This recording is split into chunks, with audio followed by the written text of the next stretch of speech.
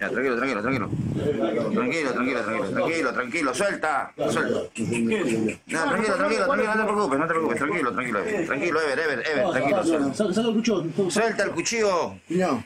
Ay, no, no, no, no. Ya, no, tranquilo, papá, ya, tranquilo. No, ya no pasa nada, no pasa nada. Cosas, ven a ayudarte. Cosas, ven a ayudarte. Suelta, suelta. Tranquilo, tranquilo, tranquilo. Despacio, quítale el cuchillo. No quería soltar el cuchillo de cocina con que había amenazado a su víctima, por lo que fueron necesarios los esfuerzos de hasta tres efectivos de la policía de la comisaría de Apolo para reducirlo. Somos policías. Tranquilo, Ever, Ever, mira, Ever, Ever, somos policías, tranquilo. Estamos con chaleco, pe. Ever, tranquilo, suelta el cuchillo. Cuñado. Ever, ¿qué pasa? Suelta el cuchillo, Ever. ¿Qué problema está teniendo? ¿Qué problema está teniendo? Suelta, papá, ¿Por qué suelta. está rompiendo la luna, todo eso? ¿Por qué está rompiendo la luna? ¿Mm? ¿Ah? ¿Qué pasa, cuñado? Se trata de Evermario Jaramillo Guamán, quien habría intentado apuñalar a Irene Torres Yupanqui, una adulta mayor. Una señora adulta mayor de 87 años acudió acá a la comisaría denunciando haber sido... Este sería el, el arma. Este sería el arma. Con este cuchillo le amenazó.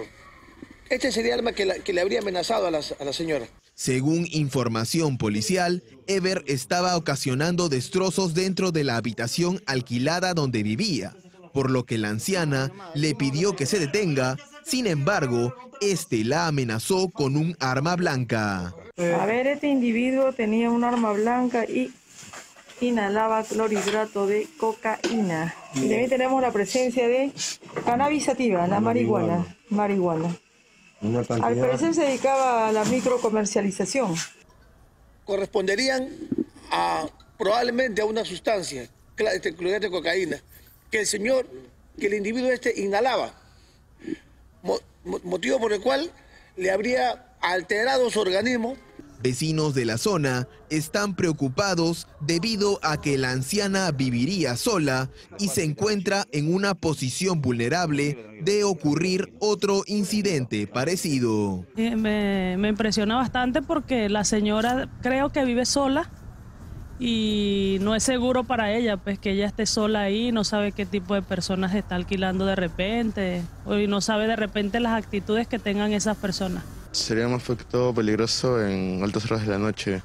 El lugar en sí está la comisaría acá al lado. No creo que sea tan peligroso, pero bueno, en ciertos momentos nadie sabe, ¿no? ¿Qué puede pasar?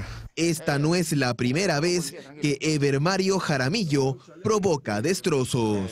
Bueno, sí he tenido problemas con él porque siempre ha sido una persona violenta y adicto al- a las drogas. ¿Usted en el pasado también lo denunció por violencia? Sí lo denuncié porque me agredía físicamente. Adicionalmente, Ever también presenta antecedentes por hurto. antes que él se autolesione y cause otras lesiones, los efectivos policiales logran reducirlo, arriesgando su propia vida. Y quiero precisar que tiene varias denuncias por violencia familiar y por intento de, de hurto en la comisaría de San Luis.